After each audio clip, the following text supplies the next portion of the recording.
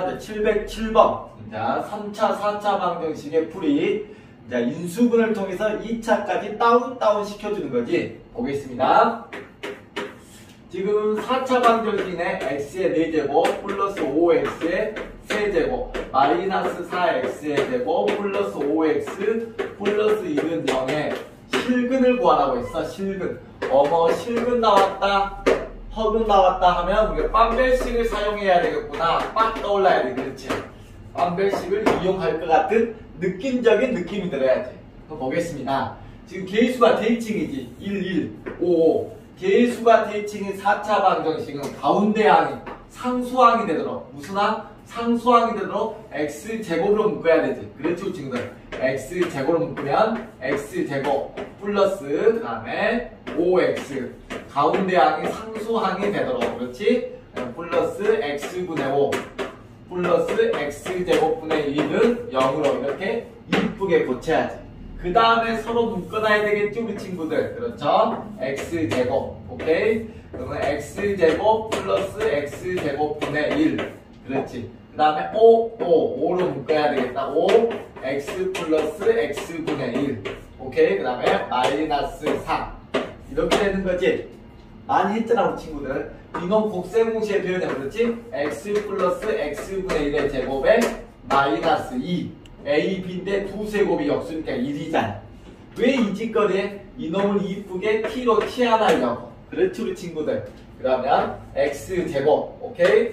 그러면 음, 뭐니 우리 친구들? 음, T T제곱 마이너스 2가 되죠 우리 친구들. 그러면 플러스 5T 여기 마이너스 2 말생각 마이너스 6이 되겠어. 됐니 우리 친구들? 됐어요? 예. 그러면 음, 는요. 오케이? 그럼 이놈이 인수분해가 되지. 그래, 안 그래? 그럼 x제곱 t 어, 인수분해 어떻게 되지? t 뿔 6, t 마일은 0. 드디어 원래 상태로 되돌려주자. 그러면 x 플러스 x분의 1 플러스 6. 꼼꼼하게. X 플러스 x분의 1 마이너스 1. 이렇게 바로 바로 리듬감 있게. 야, 각 항에 이제 x씩 곱해줘야죠. 원래 상태로. x 곱하면 x제곱 6x 그 다음에 x 곱하니까 플러스 1 내림차순으로 여기 x, x 여기 마이너스 x 플러스 1은 0 이렇게 2차식과 2차식으로 인수분해 됐죠.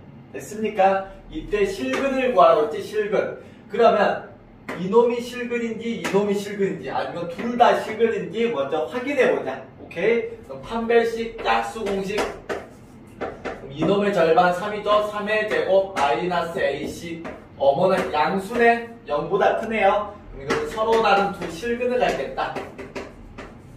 우리는 실근을 구해야 되니까 이놈의 2차 방정식을 풀어야 될 것 같아. 그렇지? 네, 이놈 보자. 어, 이놈 그냥 판별식 사용했네. 마이너스 1의 제곱 1 빼기 4ac 어머나 1 빼기 4 마이너스 3개 0보다 작죠 서로 다른 두 허근이네 문제에서 묻고자 하는 것은 실근이니까 우리 친구들 이놈만 구하면 되겠다 오케이? 구하자 우리 친구들 x제곱 플러스 6x 플러스 1이 0이 돼야 되지 우리 친구들 그러면 인수분해가 안 돼 우리 친구들 그 다음에 근의 공식 오케이 짝수 공식이네 그러면 1분의 그렇지? 절반 어, 마이너스 3 뿔마 루트 절반의 제곱 3, 3, 9 마이너스 AC 1이지 우리 친구들 됐니? 어차피 구해놨는데 그렇지? 그래서 이거는 마이너스 3 뿔마 루트 8인데 루트 8은 이쁘게 2루트 2가 되겠죠. 그게 답은 마이너스 3 뿔마 2루트 2 답은 2번이 되겠어.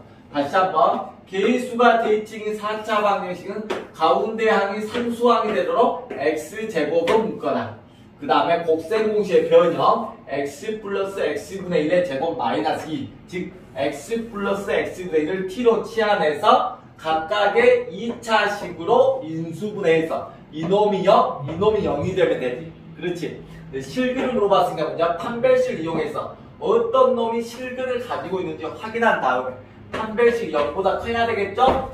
이놈이 0보다 크네. 이놈의 2차 방정식을 인수분해가 안 되니까 근의 공식을 통해서 구하면 되겠습니다. 됐나요? 예.